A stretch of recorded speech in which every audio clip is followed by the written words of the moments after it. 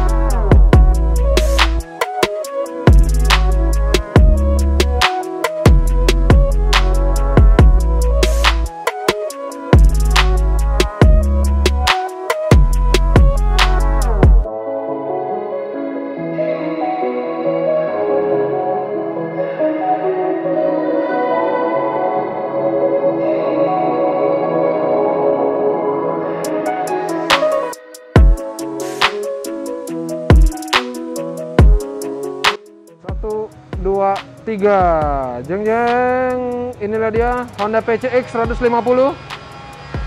yang dimodifikasi oleh kawan-kawan dari Yudi Motorsport. Ya sekarang dilihat dulu penampakannya. Saya kebetulan nggak ada kontak sama Om Yudi tapi kalau saya lihat sih dari part-part yang dipakai ini up di atas 50 juta. Mungkin bisa nembus di atas 70 mungkin bisa 80 kali ya karena partnya gila-gilaan partnya. Ya.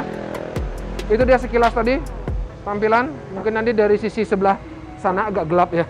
Karena kebetulan lagi padat banget di sini. Oke kita langsung aja liatin modifnya. Pertama kita lihat dari sektor body dulu. Ini bodinya udah pasti catnya pakai cat bunglon ya. Ada warna ungu ada warna hijaunya ya. Banyak banget yang ada warnanya terus ditambah lagi dengan grafis uh, saya nggak tahu grafis garis-garis kayak gini ya. Jadi keren banget nih. Ya.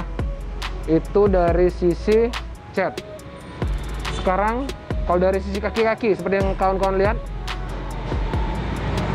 PCX ini sudah menggunakan kaki-kaki upside down. Kepunyaan dari Equinox ya. Equinox double disc kiri kanan.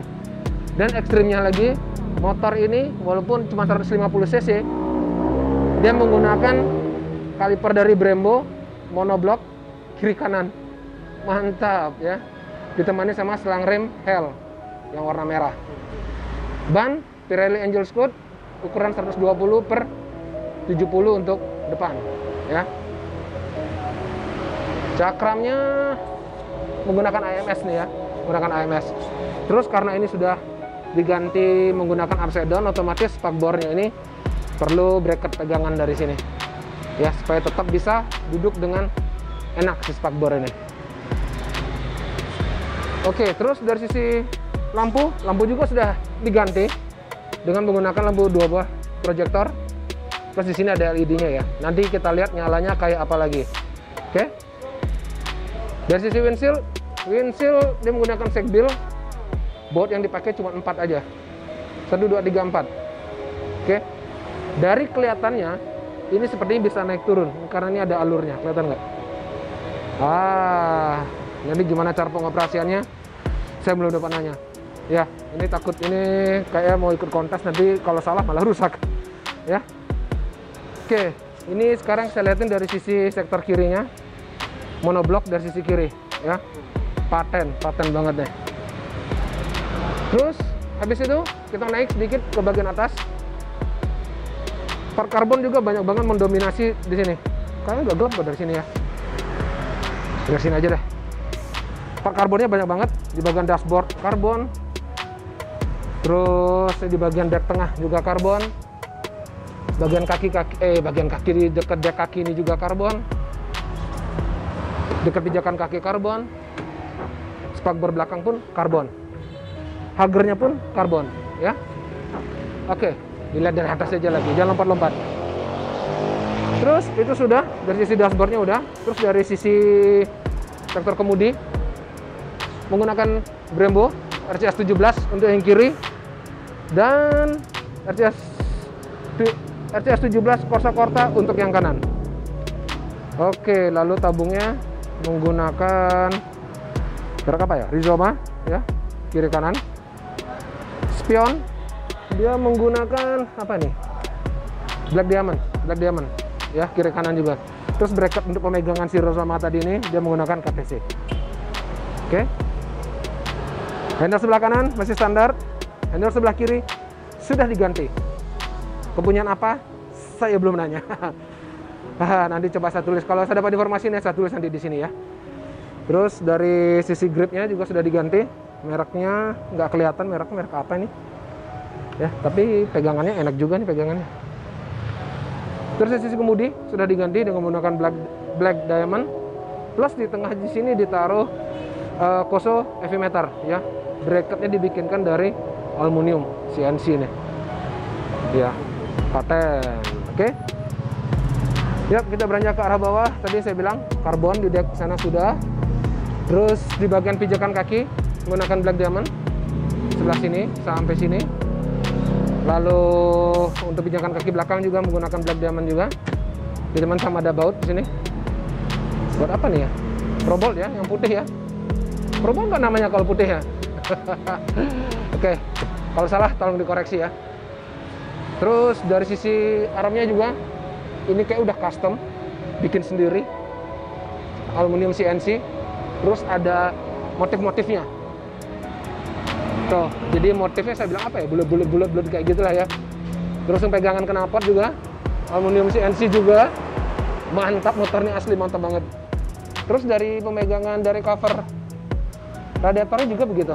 Nih ada karbonnya juga. Kelihatan nggak? Nah ada karbonnya plus di sini ditutup lagi dengan menggunakan aluminium lagi.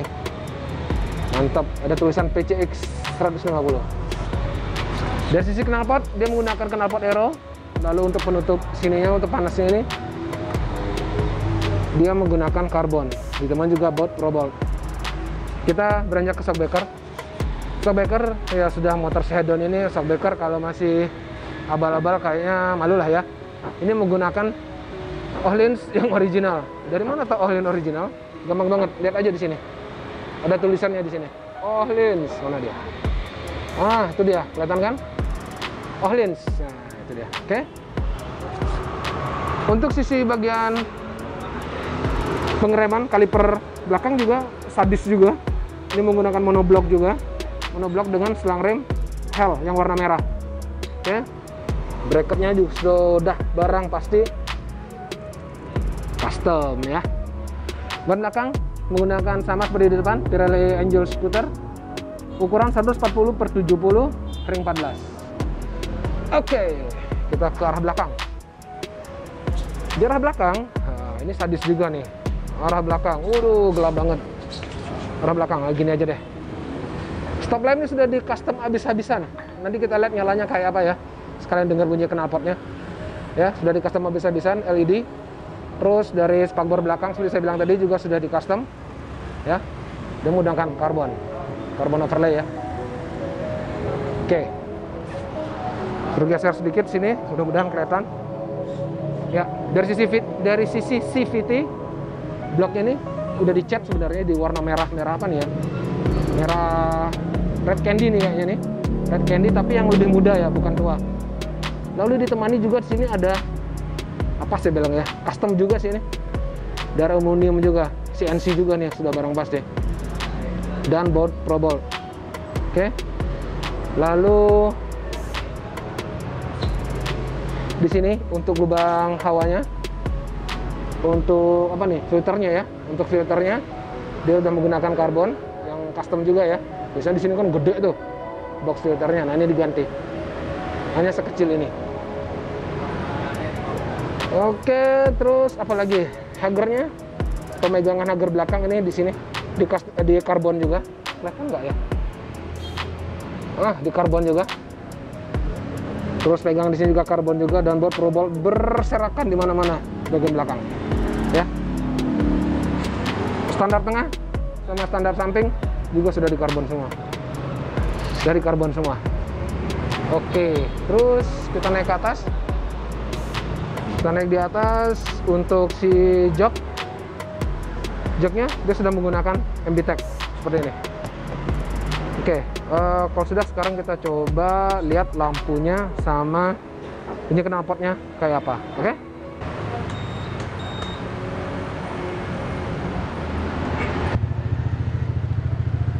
Yuk, kita coba lihat dulu lampunya. Coba hidupin lampu-lampunya, Mat. Nah, ini dia nyala lampunya. Ya. Ini ada alisnya segala macam, lalu itu ada keren, merahnya keren. Jadi kayak mata orang melotot ya. Keren banget. Lalu di sini ada aksen-aksen merahnya. Kalau yang belakang coba di rem coba, Mat ah ini kalau direm kayak gini keren banget ya oke coba digas sedikit ini bunyi knalpot arrow eh, knalpot keras ya ternyata ini kalau digas motornya lari dan ternyata ada sesuatu yang unik di motor ini. Mekanik. Nih kita lihat. Jadi tombolnya itu dari lampu dimnya ya. Coba dipencet. Nah. Oh ternyata kalau nurunin pakai ini tombol info ini ya nurunin baru sana ya. Jadi ternyata joknya itu dia pakai motor ya motorized ya. Tuh oke keren coba diturunkan pak mekanik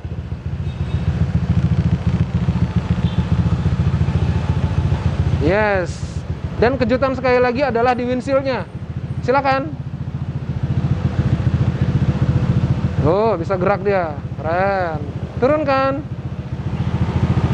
Iya, yeah, sip. Mantap.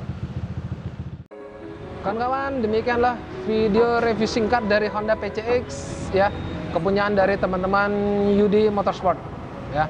Udah kawan-kawan lihat semua modifannya gokil abis ya. Jadi estimasi kayak di atas 80 juta kayaknya habisnya nih. Kayaknya ya.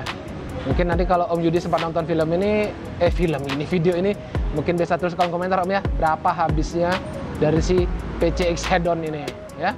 Oke, saya rasa demikian saja dulu. Jangan lupa di like, share, komen, dan di subscribe. Di kalabar ribu, kita ketemu lagi nanti di video mendatang.